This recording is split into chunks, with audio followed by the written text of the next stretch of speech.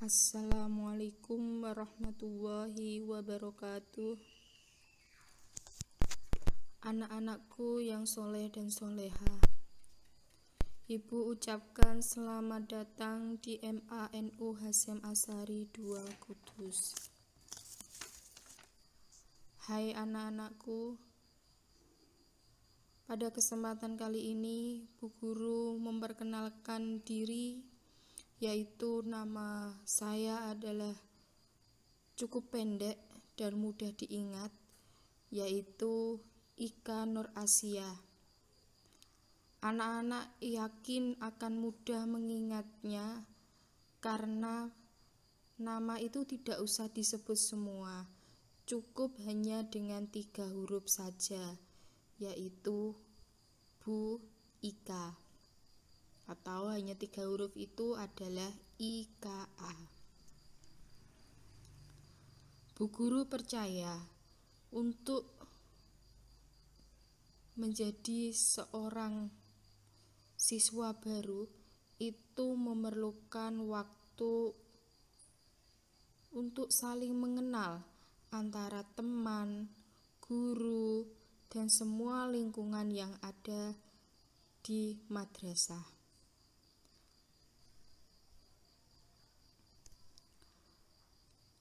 Bu Guru dipercaya di MANU Hasyim Asari 2 Kudus untuk menjabat sebagai waka kurikulum.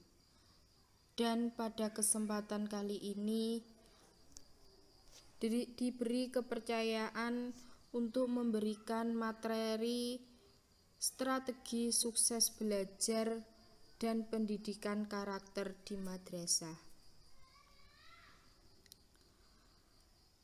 Mari anak-anak kita bergabung bersama untuk belajar dan mudah-mudahan Bu Ika doakan supaya kalian merasa betah dan nyaman belajar bersama dengan Bapak Ibu Guru di MANU Hasyim Asari 2 nantinya.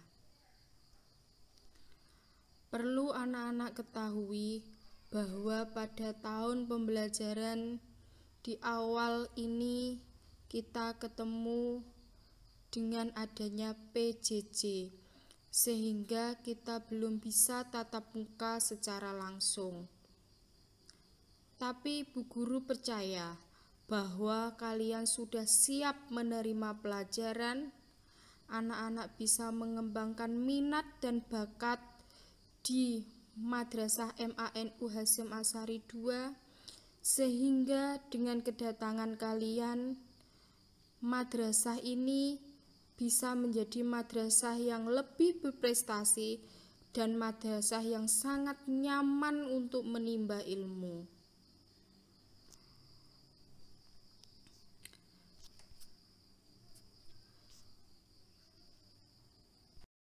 Yang pertama, Strategi sukses belajar di masa pandemi. Memasuki semester dan tahun ajaran baru, bagi pelajar berarti akan ada tugas-tugas baru, cara baru, dan kelas baru. Kondisi kali ini cukup menantang karena pada masa pandemi COVID-19. Meski demikian, Jangan jadikan kondisi ini sebagai penghalang atau pemumpus semangat untuk belajar kalian.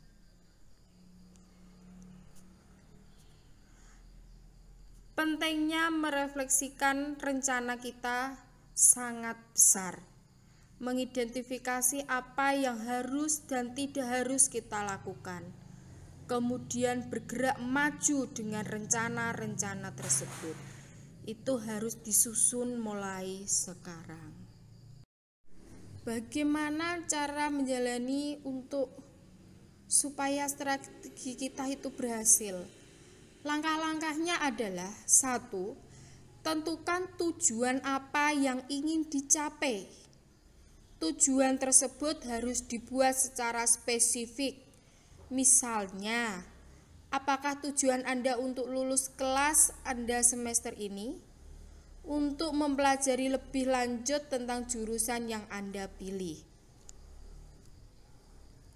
Kedua, menentukan apa yang harus dilakukan untuk mencapai tujuan tersebut dan bagaimana caranya.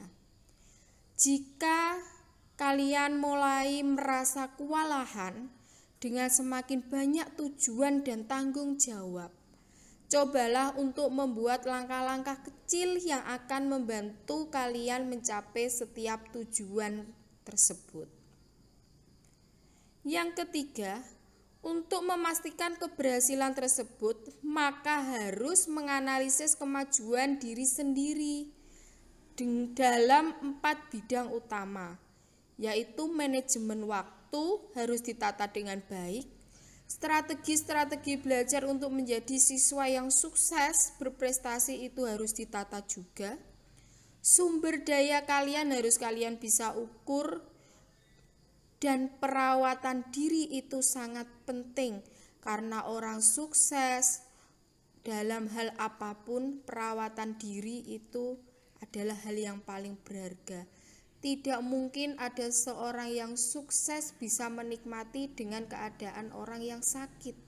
Itu salah satunya. Bagaimana kita mengatur dalam manajemen waktu?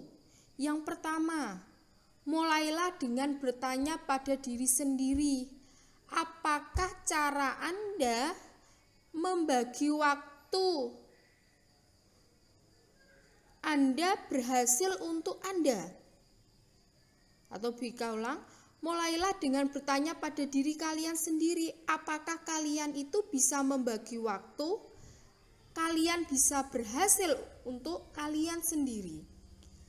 Jika saya terus mengatakan pada diri sendiri bahwa saya harus bangun jam 7 pagi, dan kemudian tidak melakukannya, saya akan merasa gagal. Itu salah satu yang bisa diterapkan.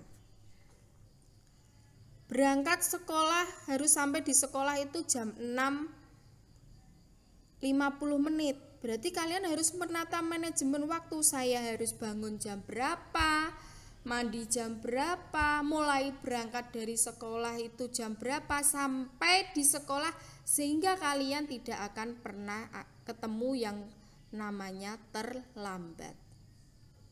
Yang kedua, intinya jangan takut untuk mencoba jadwal baru atau ide-ide baru. Yang ketiga, bersikaplah terbuka untuk mencari tahu pada jam beberapa Bika ulang mencari tahu pada jam berapa dan strategi apa yang paling cocok untuk Anda sehingga semua kewajiban Anda atau kewajiban kalian bisa tercapai dengan baik. Ada seorang ahli yang mengetahui tentang strategi belajar yang bernama Chong. Beliau mengatakan, banyak siswa sering merasa mereka harus menggunakan strategi belajar tertentu untuk hasil yang maksimal atau untuk berhasil.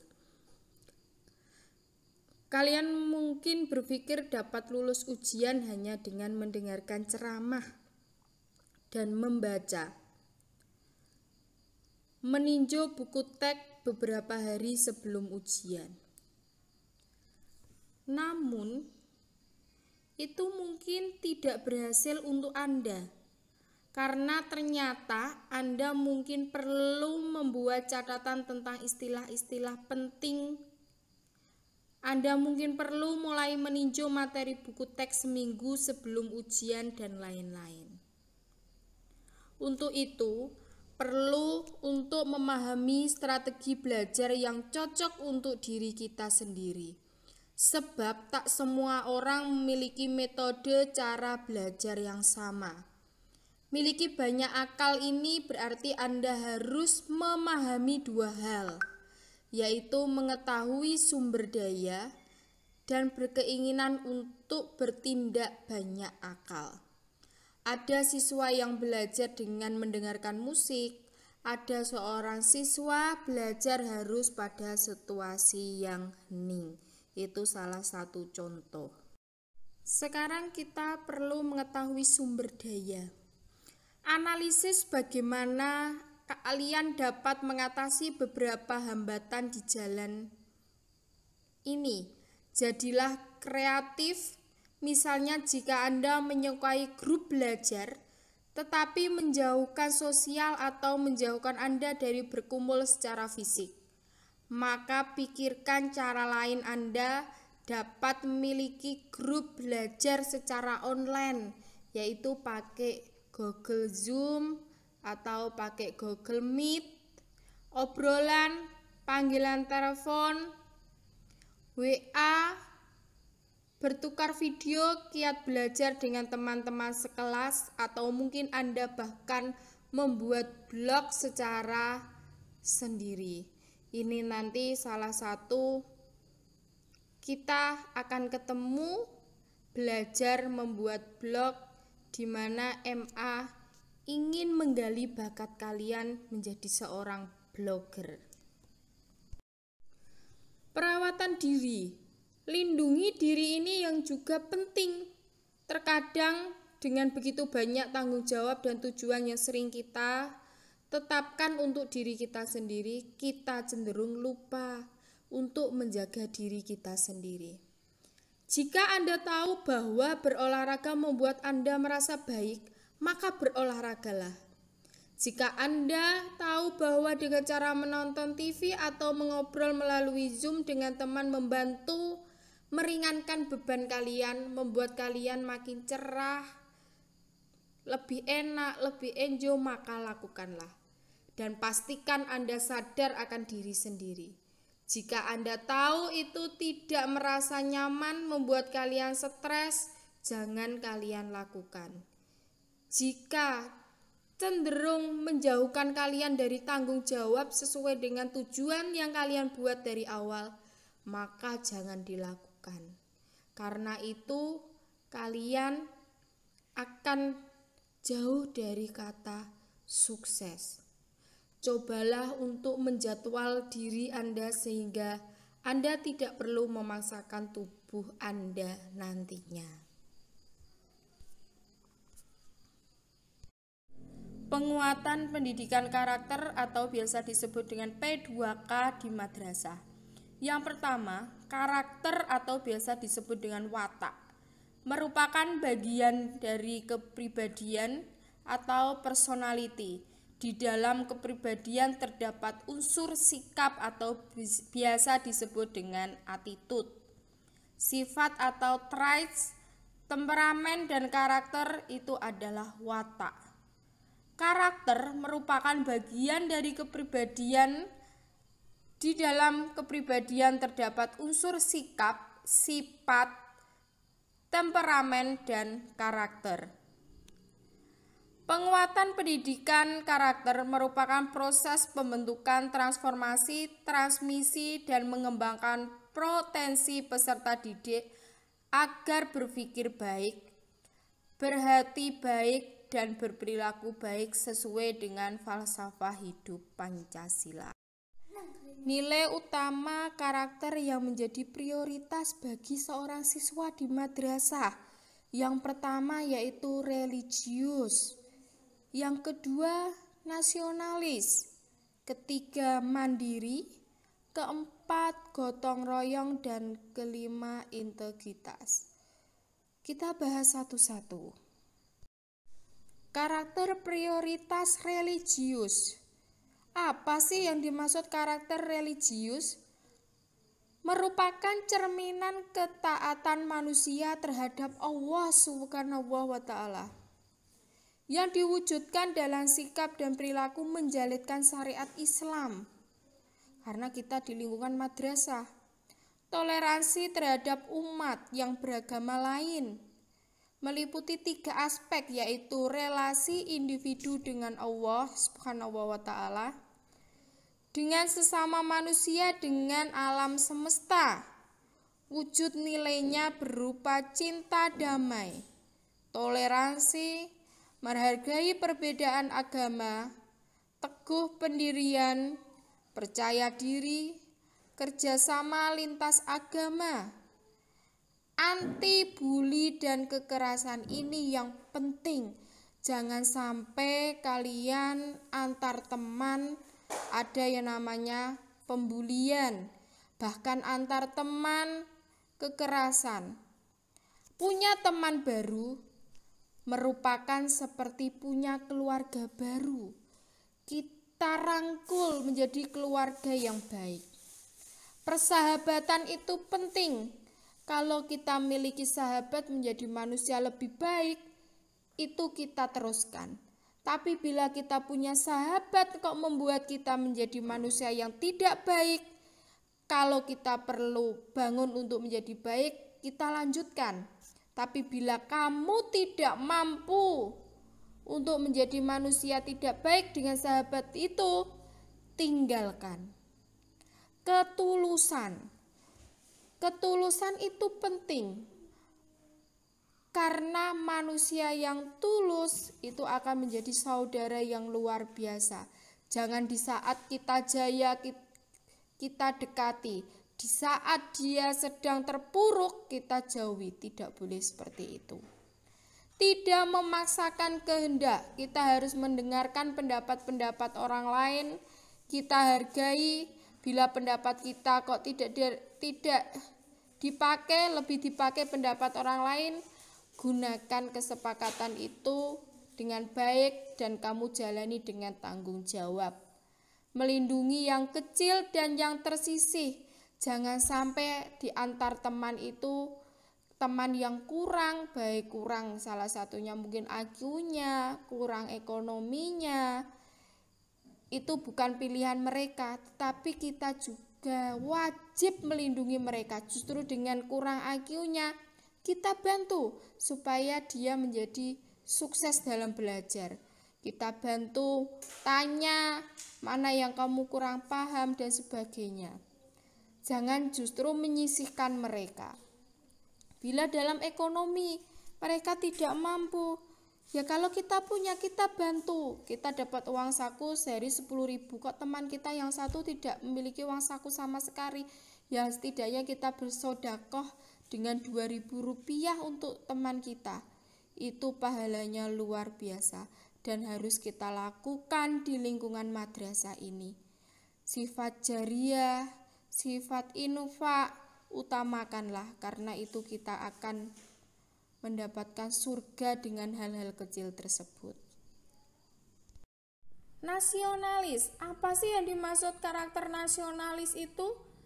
Karakter nasionalis nampak dalam pola pikir, sikap, dan perilaku setia, peduli dan menghargai bahasa, lingkungan sosial dan fisik, kebudayaan, ekonomi, dan politik bangsa Indonesia di atas kepentingan pribadi dan golongan. Wujud nilai karakter nasionalis merupakan kesediaan menghargai dan menjaga budaya bangsa sendiri. Berkorban secara ikhlas, punya prestasi, cinta tanah air, melestarikan lingkungan fisik dan sosial, mentaati aturan hukum yang berlaku, disiplin dan berdedikasi tinggi, menghargai keanekaragaman budaya, suku, dan bangsa.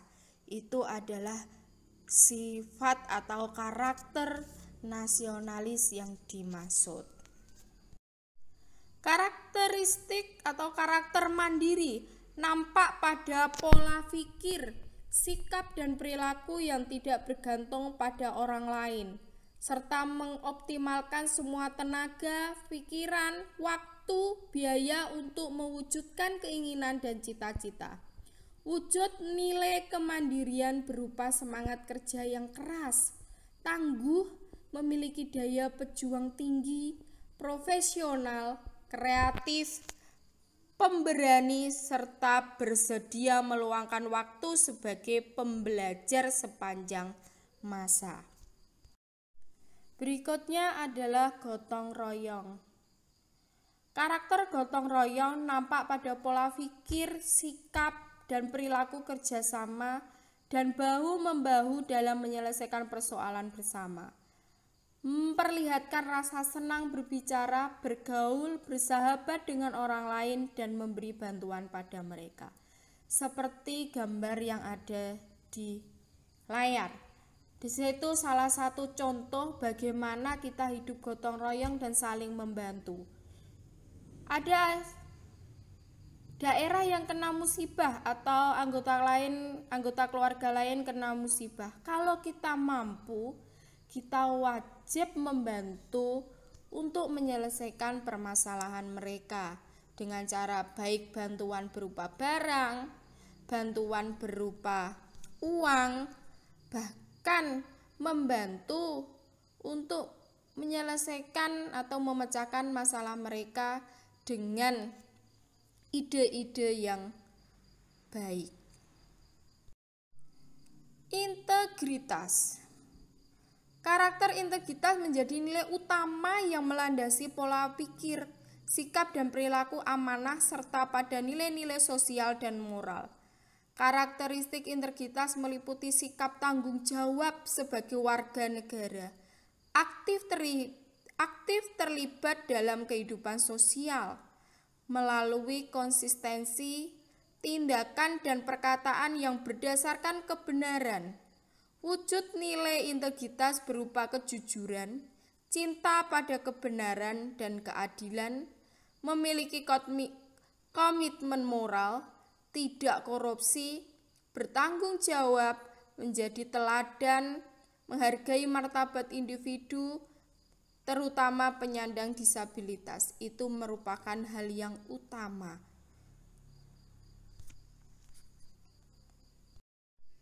Pendidikan karakter berbasis kelas ditandai dengan yang pertama yaitu mengintegrasikan proses pembelajaran di dalam kelas melalui isi kurikulum dalam mata pelajaran sesuai yang disusun madrasah. Yang kedua, memperkuat manajemen kelas dan pilihan metodologi dan evaluasi pengajaran. Yang ketiga, pelajaran muatan lokal merupakan unggulan yang dimiliki madrasah dan wajib diikuti oleh semua peserta didik. Sedangkan pendidikan karakter berbasis budaya madrasah ditandai oleh yang pertama yaitu menekankan pada pembiasaan nilai-nilai dalam keseharian di sekolah. Misalnya, pada saat kita sebelum masuk di pelajaran jam pertama, kita melakukan doa, membaca Yasin, itu yang dilakukan di madrasah kita. Yang kedua, menonjolkan keteladanan orang dewasa di lingkungan pendidikan. Nah, kalau yang kakak kelas memberikan contoh kepada adik-adiknya supaya adiknya itu menjadi seorang siswa yang baik. Malah jangan memberikan contoh yang jelek. Melibatkan ekosistem sekolah, jadi semuanya memang terlibat semua anggota keluarga di madrasah tersebut mengembangkan dan memberi ruang yang luas pada segenap potensi siswa melalui kegiatan kokurikuler dan ekstrakurikuler. Karena kegiatan tersebut merupakan kegiatan yang bisa menjadikan siswa itu menjadi berbakat dan berprestasi.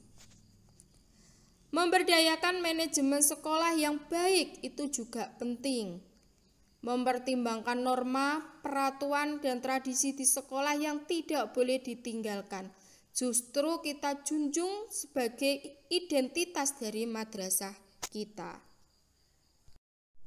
Demikian paparan yang dimaksud dengan materi strategi sukses belajar dan pendidikan karakter di madrasah. Kalian yang mungkin dari jenjang SMP, harus membiasakan diri untuk menjadi manusia yang lebih baik di Madrasah MANU Hasyam Asari 2 Kudus, lebih mengenal agama kita yang lebih baik. Bila yang dari MTS bisa memperdalam ilmu agama di sini, baik ilmu agama maupun ilmu-ilmu yang lain yang membuat diri kita lebih baik, lebih berprestasi untuk kita, lebih berprestasi untuk menambah nama baik madrasah, prestasi untuk keluarga kalian.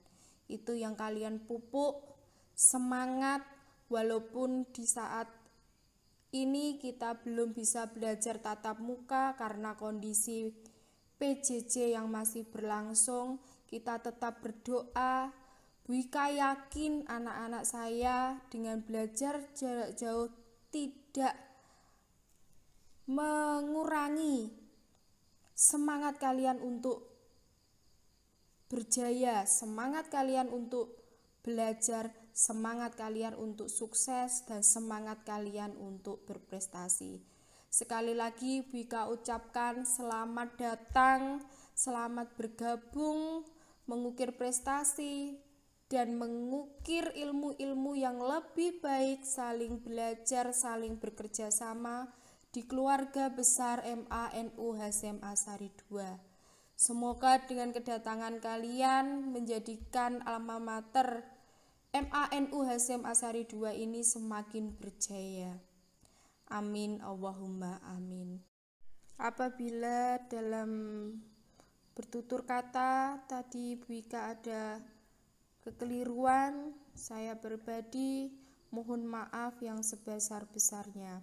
Kita akhiri materi hari ini supaya kita mendapatkan berkah yang lebih kita dengan bacaan hamdalah. Alhamdulillahirabbil alamin. Wabillahi taufik wal hidayah. Wassalamualaikum warahmatullahi wabarakatuh Jaya Mahadaku